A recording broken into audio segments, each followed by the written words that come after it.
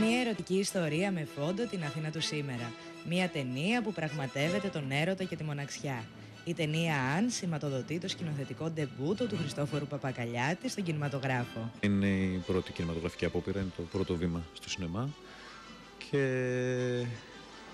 η όποια αγωνία επιτρέπεται, έτσι.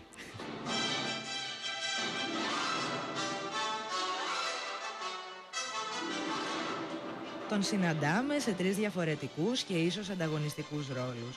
Αυτόν του σκηνοθέτη, του σεναριογράφου και του ηθοποιού. Είναι κάποιες στιγμές που είναι λίγο δύσκολα τα πράγματα γιατί πρέπει να αποστασιοποιηθείς και να λειτουργήσεις με ένα διαφορετικό ρόλο κάθε φορά. Είναι τρεις ρόλοι οι οποίοι είναι πολύ σημαντικοί και απαραίτητοι και ο ένας συμπληρώνει τον άλλον, αλλά όντως πολλές φορές μπορούν να γίνουν ανταγωνιστικοί. Μιλάμε για δύο σενάρια, για δύο ταινίες γυρισμένες σε μία. Γκρουπαριστά γίνανε τα γυρίσματα. Με μια κοινή αφήγηση.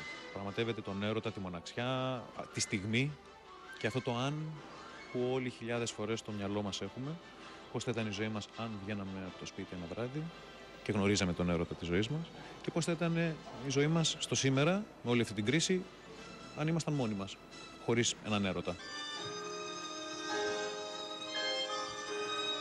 Δεν παρέλειψε να αναφερθεί και στην τηλεόραση.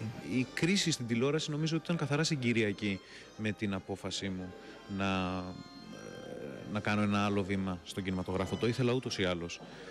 Ε, εντάξει, λόγω κρίσης ίσως οι τέσσερις υπήρχαν και συνέχιζαν για άλλα 10-15 επεισόδια.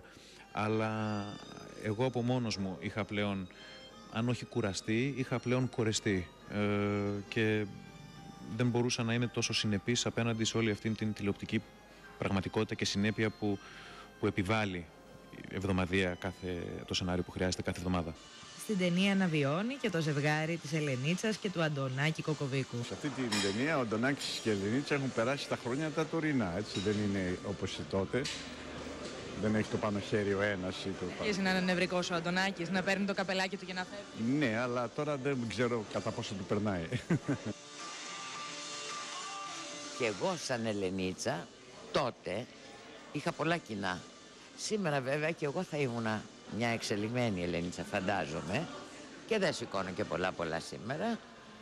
Ας πάρει το καπελάκι του και ας φύγει άμα θέλει.